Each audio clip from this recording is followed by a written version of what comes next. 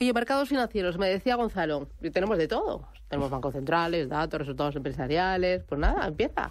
Bueno, hombre, a ver, la verdad es que yo creo que todos estamos empezando a mirar ya el 2024. Ya, algunos más, algunos más. ¿eh? Algunos más que otros, pero clarísimamente esto, como habíamos comentado, yo creo que en alguna otra tertulia hemos comentado, Susana, que el mercado está mirando ya mucho más lo que es crecimiento económico, resultados empresariales de lo que es inflación. La inflación yo creo que ahora mismo ya no está marcando o, o guiando el sentimiento de mercado y ese crecimiento económico, pues estamos viendo que las noticias no son tan alentadoras, ¿no? Es decir, el crecimiento económico estamos viendo que viene una ralentización importante, sobre todo en economías desarrolladas, con la excepción de Japón, y vemos que también existe una podemos decir, una dispersión importante entre lo que son mercados emergentes y mercados desarrollados. Claramente, eh, estamos viendo que una de las sorpresas de este año 2023 ha sido la resiliencia de la economía americana, es decir, siguen gastando como si no hubiera un mañana en los americanos, pero según los datos que nosotros manejamos, de todo el ahorro que se eh, generó durante la pandemia, eh, pues queda como un 20%, es decir, que yo creo que esto ya se va acabando. Eso unido a los tipos de interés eh, que, como todos sabemos, están en máximos de los últimos 15 años, bueno, pues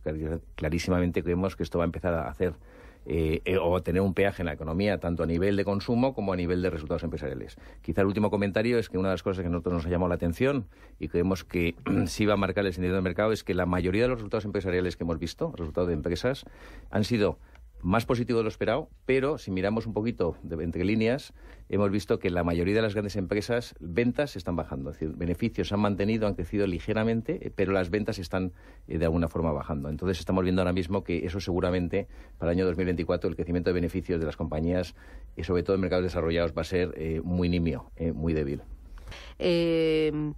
¿Qué es lo que está pasando en Europa? ¿Por qué en Europa eh, las cuentas y la economía va más al tran-tran? Eh, ¿Cómo lo veis? Bueno, la eh, hoy también había, perdona, datos de Bank of America, que sabéis que todos los lunes publica cómo han ido los flujos de entradas de capital, y decía que de los fondos de acciones americanas llevábamos como 34 semanas consecutivas entrando dinero, pero los fondos de acciones europeas llevábamos, no sé, 34 o 35 saliendo de dinero. Hombre, a ver, lo que está claro es que todo el mundo sabe que Europa es muy distinto a Estados Unidos desde el punto de vista de, lo que es la bolsa y de lo que son las compañías que tú puedes invertir en Europa. Europa, eh, liderado por Alemania, sobre todo a nivel de sentimiento, es, un, es una economía, son economías muy ligadas a industria, ¿eh? a industria. Entonces, eh, no tiene nada que ver con las tecnológicas de los americanos. Eh, yo creo que Europa, si bien es cierto lo que comentas, que hay salidas de flujos de Europa, yo creo que Europa, para nosotros, tiene mejores perspectivas de punto de vista de inversión para los próximos dos años que Estados Unidos. Estados Unidos está en multiplicadores por encima cerca de, de 20 veces ¿eh? y Europa está en 13-14. Es decir, que las valoraciones de Europa con esta salida de flujos clarísimamente está mucho más, eh, vamos a decir, en precio, en precio y más interesante. Pero es verdad que es que la economía americana, al final, yo creo que todo, eh, todo pasa por América, desde el punto de vista de sentimiento y desde el punto de vista de dinámica clarísimamente en Europa eh, yo creo que hay muchas buenas oportunidades. Nosotros estamos mirando Europa muy de cerca, estamos de, momento neutrales en renta variable, estamos cautelosos, pero eh, si a nosotros nos preguntan de cara al 2024-2025 dónde vamos a ver más oportunidades entre Europa y Estados Unidos, diríamos que es más Europa que Estados Unidos. Y quizás un, un solo un comentario, que lo sepa el inversor, es decir, la rentabilidad por dividendo ¿eh? de las bolsas, ¿eh? así como la americana está en el 2% ¿eh? y el bono americano está al 5%,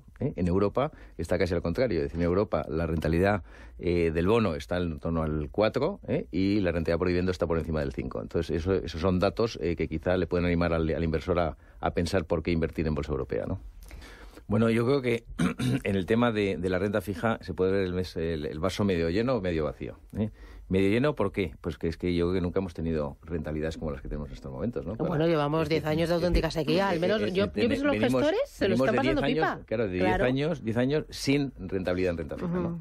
Es verdad eh, que, por poner las cosas un poco en contexto, el año pasado fue una, un año absolutamente terrible, de lo peor que hemos visto desde el año 94, desde el punto de vista de rentabilidades, se perdieron de doble dígito, pérdidas en renta fija, y este año renta fija con duración, pues como bien decía Fernando, eh, sigue estando un poco negativo. Pero es verdad que lo que hay que hacer es mirar los próximos tres años. Los próximos tres años o dos, dos años, tres años, vamos a tener bonos de gobierno ¿eh? con rentabilidades en torno al 5%. Oye, pues el que pueda capturar ese 5%, y es el gestor el que va a decidir si pone un poco más de duración ahora, un poco menos de duración, o como bien decía Fernando, ir construyendo más duración respecto. Pero el que pueda, de alguna forma, bloquear ese 4 o 5% para los próximos tres años, me parece que es una magnífica oportunidad de inversión. Nosotros en PICTET estamos más eh, positivo es lo que son bonos de gobierno americano, de momento, ¿eh? más que gobiernos, eh, bonos de gobierno europeos.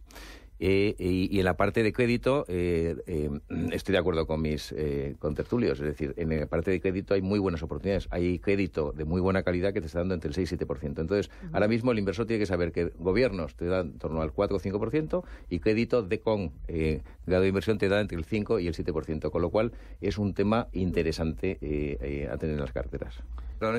Eh, mira, hay un, hay un dato que quizá le puede interesar al inversor. Es el otro día, analizando renta fija a gobiernos, que teóricamente todo el mundo piensa que es mucho menos, eh, o mucho más seguro, perdona, que lo que es renta fija a empresas, lo que emite una empresa, un bono que emite una empresa, la volatilidad del bono gobierno es de casi el 10%, 9,7%. Y la volatilidad de crédito grado de inversión es un 4,7. Es decir, estamos en una situación un poquito distinta. Es decir, la volatilidad del crédito de empresas, es decir, lo que es renta fija de empresas, es la mitad que gobiernos. Eh, ¿Cuál es el mensaje aquí? que, como bien decía Rocío, es decir, la volatilidad va a estar con nosotros en renta fija, cosa que es una cosa muy nueva, Susana, de punto de vista de gestión, y por tanto hay que confiar en los gestores que eh, realmente sean los que tengan que tomar la decisión, no solamente qué bono eligen, qué empresa invierten, sino también eh, qué nivel de, de duración ponen en carteras, ¿no?